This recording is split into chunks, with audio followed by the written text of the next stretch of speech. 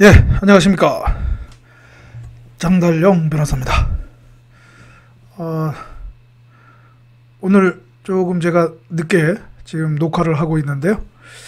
어, 이 녹화를 마치고 어, 이제 퇴근을 할 예정인데 오늘 방송은 조금 제 개인적인 그 이야기를 곁들여서 해볼까 합니다.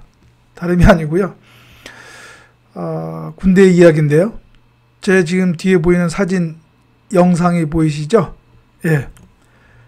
그거는 제가 이제 군 복무 시절 소대장 소대장 시절에 훈련 나가서 우리 소대원들하고 같이 멋지게 포즈를 취하고 어, 사진을 찍은 것입니다. 저게 이제 강원도 최전방 어딘데요?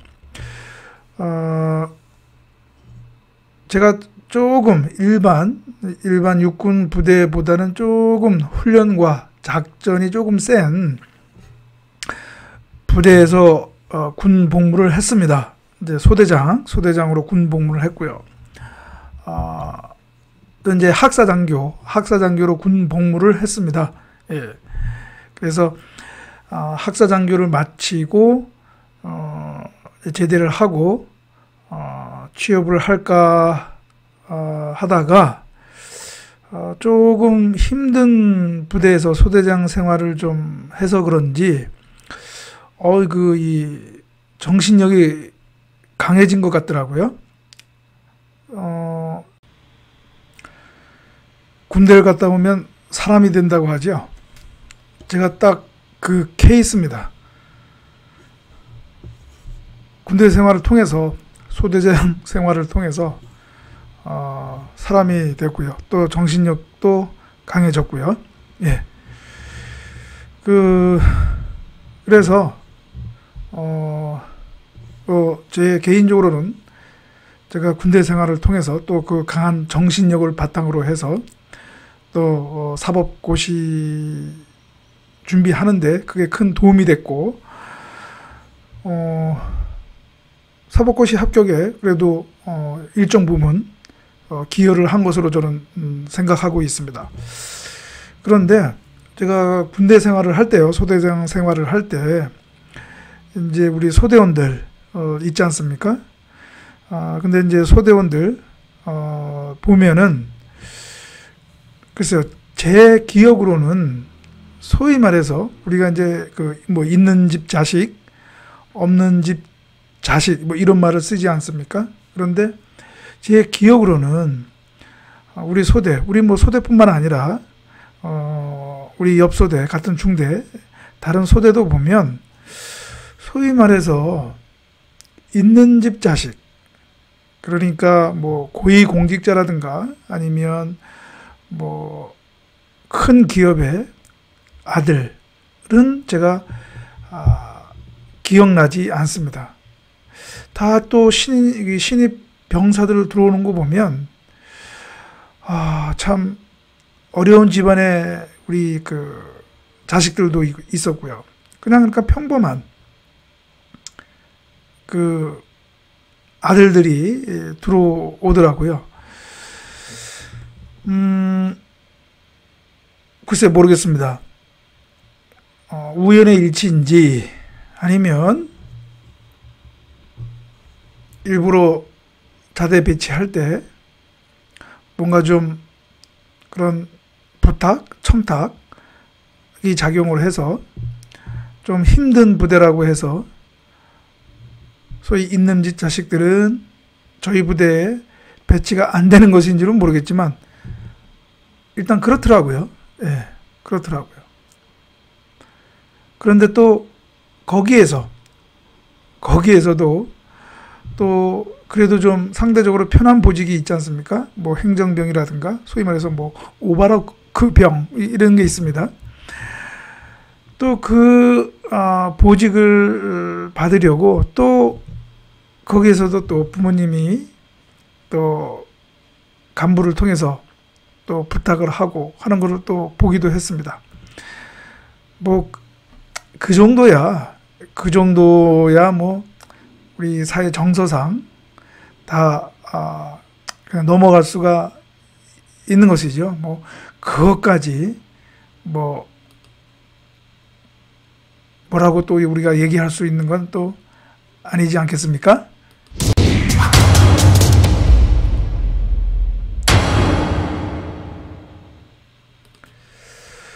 그런데요, 제가 오늘 방송하는 그 이유이기도 한데요, 최근에 뭐 대기업, 글쎄 뭐 그렇게 우리가 소위 말하는 재벌, 뭐 그 정도는 아닌데, 아무튼 그래도 이름이 알려진 기업의 아, 대표이사인가요? 뭐 부회장인가요?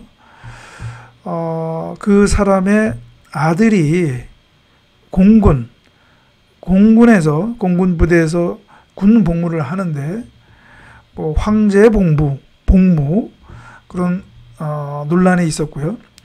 또 그것을 조사하는 과정에서 군 경찰이 조사하는 과정에서 뭐또 무슨 특혜를 받았다, 받고 있다라고 하는 또, 어, 군 내부에 또 폭로가 있었고요. 그래서 그게 또 한창 논란이 있었고, 또 엊그제인가요? 그래서 그것으로 인해서 그, 어, 아버지 되는 사람은 그 대표이사직에서 어, 물러났지요. 저는 그것을 보고, 그것을 보고, 어, 이 사회에서의 어떤 그런 불공정, 위법하고도 부당한 특혜가 이 군대 내에서도 이것이 심심치 않게 일어나고 있는 것에 대해서 저는 부쩍 그 우려하고 있고요. 다른 분야도 아니고요. 헌법상 정한 병역 의무를 위해, 위해서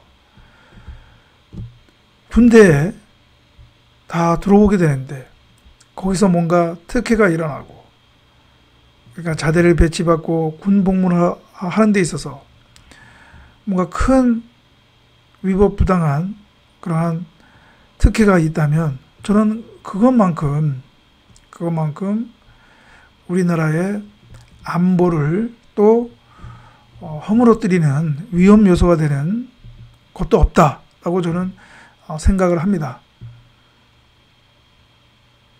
저는 전쟁에서 가장 중요한 무기는 바로 우리 군인들의 정신력, 나라를 위해서 목숨을 바칠 것을 각오하고 그것을 두려워하지 않는 그런 정신력이라고 생각을 합니다.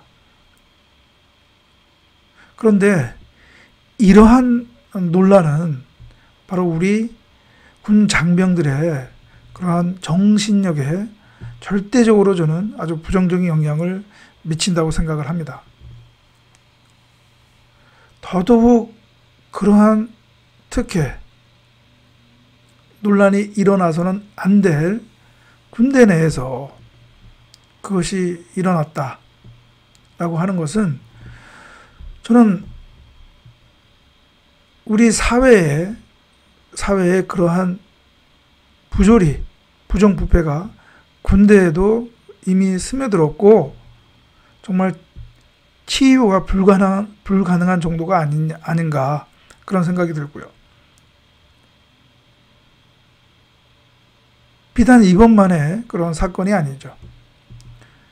언론을 통해서 알려진 것보다는 알려지지 않은 그러한 특혜가 저는 더 많다고 생각을 합니다.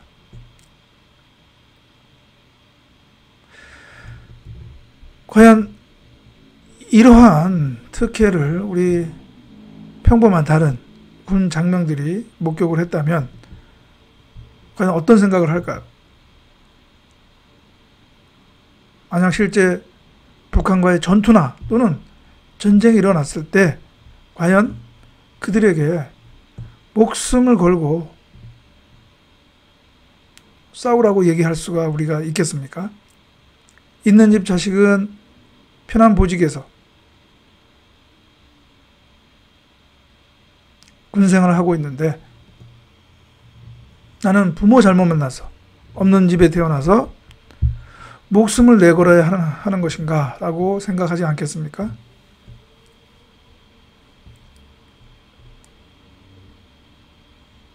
그러한 정신이 다른 병사들에게도 퍼진다면 과연 그런 병사들이 북한과의 전투에서 전쟁에서 과연 목숨을 걸고 싸울 수 있겠는가? 그래서 제가 오늘 타이틀을 나는 북한과의 전쟁 그것이 두렵다 라고 한 것입니다. 물론 전쟁은 일어나지 않았, 않으면 좋겠지만 그러나 또 전쟁이 일어날 수도 있는 것이죠. 우리가 전쟁을 일으키기보다는 상대방이 침략을 해서 북한이 도발을 해서 또 전투가 발생할 수도 있고 전쟁이 일어날 수도 있는 것이죠. 따라서 우리 군대는 무기도 최신 무기 갖는 것도 중요하고 하지만 저는 무엇보다도 중요한 것은 강한 정신력, 높은 충성심을 갖는 것이 저는 가장 큰 무기라고 생각을 합니다. 우리 군대에게. 그런데 이런 사건들이 자꾸 일어나는 것은 그것을 해치는 것이다. 저는 윗물이 맑지 않기 때문에 윗물에서 그러한 부정 비리가 일어나고 있기 때문에 그 군대 아랫물 군대에서도 저는 그런 것이 일어난다고 생각을 합니다. 조국 사태, 울산시장 선거 개입,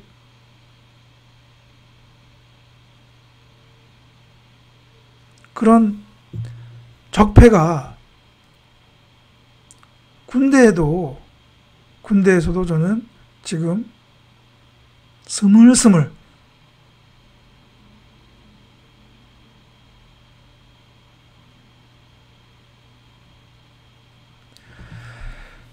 예. 우리 지금 국방부 장관을 비롯한 국방부 그리고 육군 장성들 정신 차리시고